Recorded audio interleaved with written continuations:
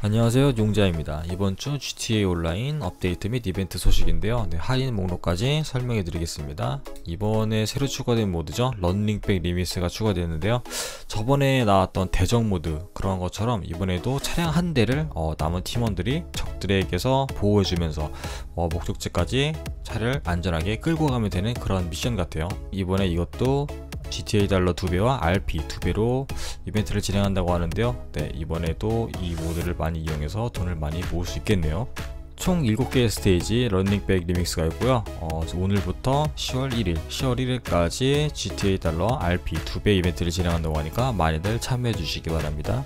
네, 다음으로 로그인 보너스입니다. 로그인만 하면 받을 수 있는 아이템 스킨이고요. 네, 9월 24일까지 플레이만 하시면은 맨에서랑 페가시오프에서 MP8용 산토 카프라 동전 상징을 받을 수 있다고 하니까 네, 로그인 하시고 상징 스킨을 받으시기 바랍니다. 네, 그리고 추가적으로 나이트클럽 인기도를 두 배로 획득할 수 있다고 하네요. 9월 24일까지. 네, 나이트클럽 인기도를 두 배로 획득할 수 있고, 어, 나이트클럽이랑 바이커 사업장 생산 속도가 25% 향상되는 혜택이 제공된다고 하니까, 네, 그렇게 알고 계시면 되겠습니다.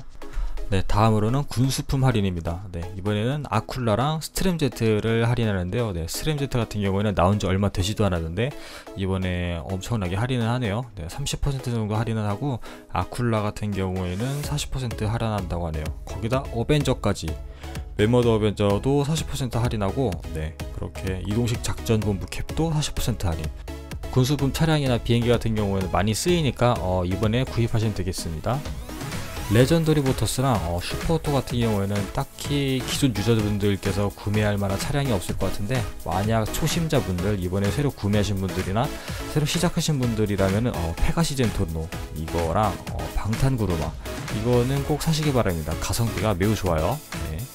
다음으로는 메이즈은행 담보매물인데요. 네, 시설 30%, 스페셜 패키지 창고 40%, 격납고 30%, 바이커 사업장 40%, 벙커 30% 할인이니까 이번에 구입 안 한 시설이 있다면 이번에 세일할 때 구입하시면 되겠습니다.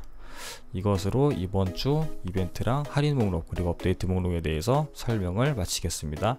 도움이 되셨다면 유튜브 구독과 좋아요 부탁드리고요. 트위치 팔로우 부탁드리겠습니다. 지금까지 용자였습니다. 감사합니다.